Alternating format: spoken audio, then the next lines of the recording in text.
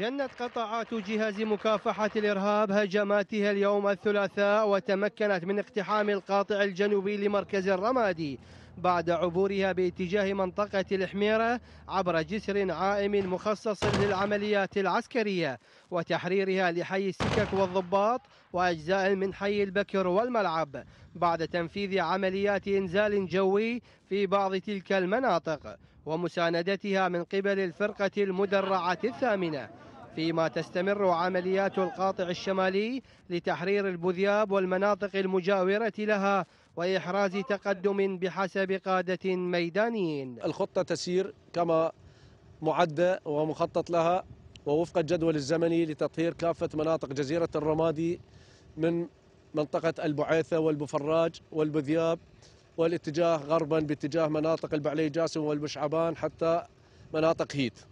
العمليات تسير بإسناد مدفعي كثيف وغطاء جوي لطيران الجيش والقوة الجوية العراقية وإسناد من تحالف الدولي.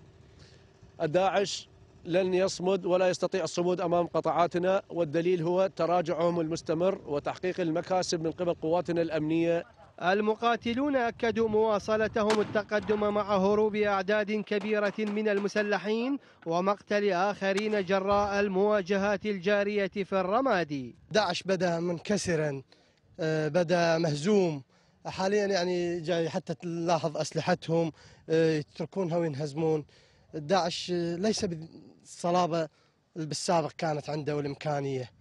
الآن زمام المبادرة بيد القوات الأمنية والحمد لله يعني تقدم سريع. عداتهم ظل تاش بالشوارع الجثث مالتهم. ما نقدر يعني ما ملينا ما نقدر وين نودي الجثث مالتهم.